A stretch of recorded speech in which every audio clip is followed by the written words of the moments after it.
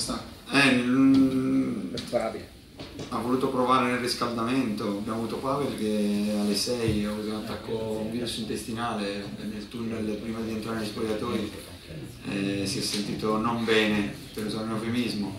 È arrivato in bagno, è arrivato in bagno, tra passa, in bagno. No, no, non ce l'ha fatta, l'ha fatto tutto prima. E, e anche Gigi in Italia ha provato fino alla fine perché ovviamente nel periodo in cui abbiamo avuto tre gare in una settimana siamo stati falcidiati da, da qualche infortunio di troppo e quindi diversi ragazzi sono stati impiegati per, per tre gare e questa è dimostrazione della, della disponibilità e della qualità di questo gruppo. Non dobbiamo accontentarci perché oggi, ripeto, dobbiamo tutti quanti essere un briciolo arrabbiati perché questa non è una partita che deve finire 1-0 e perché in passato partite simili siamo stati in grado di rimetterle in gioco e quei punti poi non te li ritorna indietro nessuno. Ma solo l'ultima, l'ultima sì. cosa, mister.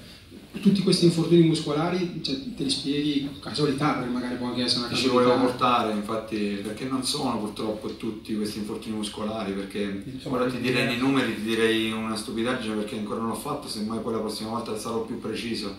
Ma non sono tanti infortuni muscolari, perché Matos non è muscolare, perché Ragusa non è muscolare, perché Danzi non è muscolare perché Munari non è muscolare, perché Davidovic oggi non è muscolare, perché ci sono anche dei ragazzi che hanno avuto dei problemi muscolari, però in un'annata ovviamente siamo nella norma e che non siamo stati nella norma in altri tipi di infortuni che purtroppo ci hanno colpito e in questo momento stiamo pagando.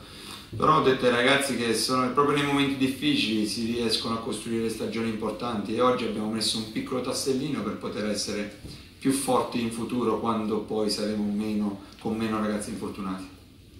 Grazie.